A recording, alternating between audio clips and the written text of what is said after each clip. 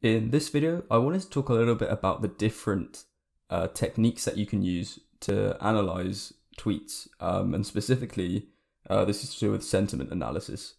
Um, and this is trying to determine whether a tweet is positive or negative in sentiment, um, and sort of to what degree is something positive or to what degree is something negative. Um, the reasons why you might do this, uh, the the popular one that a lot of people uh, will probably want to would be interested in is things like stock market prediction. So you could use sentiment analysis to uh, act as a feature for a machine learning model to either predict uh, in like a supervised fashion what the, the next day or the next week of the stock market might look like, uh, or perhaps as a feature for a reinforcement learning algorithm to use uh, to, to learn uh, whether the market will go up or down. Um, another one potentially could be things like competitor analysis. So a lot of companies might use this um, to to keep an eye on their competitors um, to see whether they're performing better or worse than themselves, uh, and that kind of ties into monitoring your own company as well. Um, these are just a few that I could come off with off the top of my head, but I'm sure there's um, a few others as well. Um, this video won't really go into how to obtain a data set of tweets. Um, but if there is enough demand, I can certainly go into that.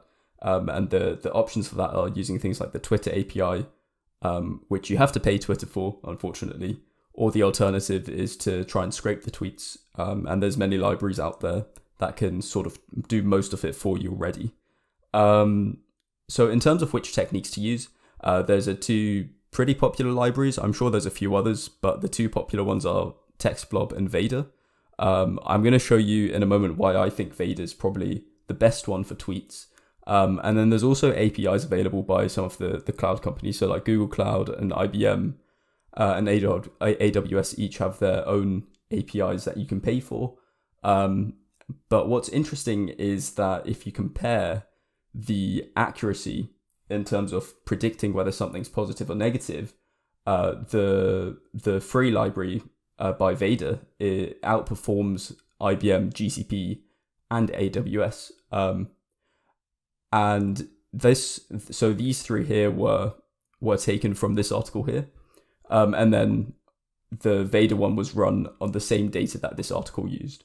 Uh, you can see that the cross combined reference, so using all three of the APIs, does perform better than Vader. Um, so it got 73% as opposed to Vader 70%.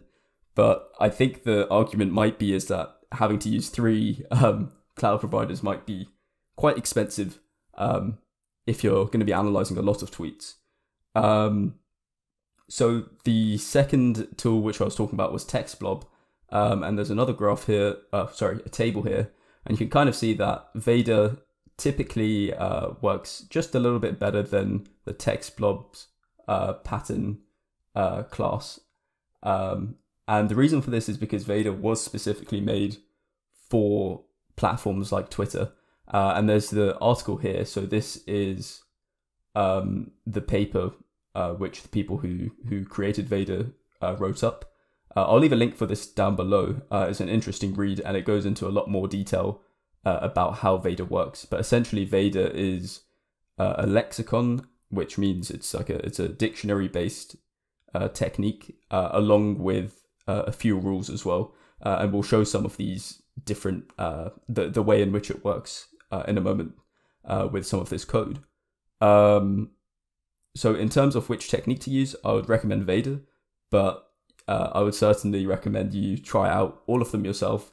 Um, you know the APIs and TextBlob as well. but to get started with Vader is pretty straightforward. You just have to install the Vader sentiment by doing pip install Vader sentiment.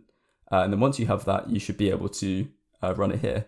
Um, and then this is the, the main class that you want to use here, the sentiment intensity analyzer. Um, and for example, this is just a very simple, the food was really good yesterday and we'd expect it to be positive. Um, and you can see, so the compound is what we're looking at. So it's saying uh, it's a 0.49. Uh, and this scale goes from minus one to one, where one means really positive and negative one just means it's uh, very negative, uh, and everything in between. And zero just means that it's neutral. Um, so you can see that it can understand things like exclamation marks so amplify um, the positivity. So if we run that one, you can see uh, it's slightly more positive, um, and it also handles things like capitals, um, and you can see that works. That makes it even more positive, um, and it also handles things like negation. Uh, so, for example, this one, I'll turn it into a negative, um, and you can see on their in their article they go into all the kind of different details, and on their on their website on their GitHub page, you can see kind of all the different types of things that it can handle quite nicely. Um, so it can also, I think this was added somewhat later after the paper, but it also handles uh, like these emojis as well.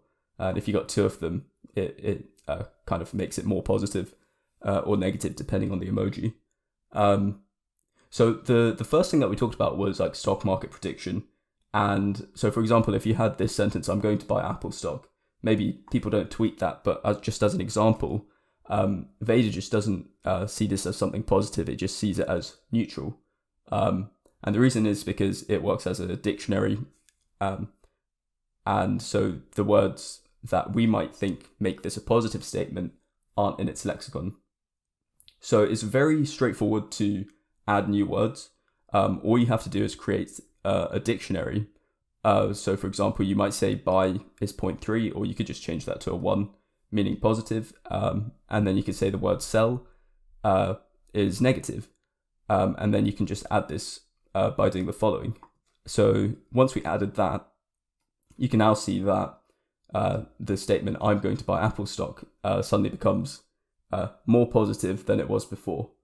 Um, so in that sense, it's pretty good, um, and that's sort of why something like Vader might be more beneficial to use than one of these APIs, is because instead of it being a black box API, um, you can have more of the flexibility in terms of adding new words, um, and it's a bit un- easier to understand how it works and how it's scoring different uh, tweets.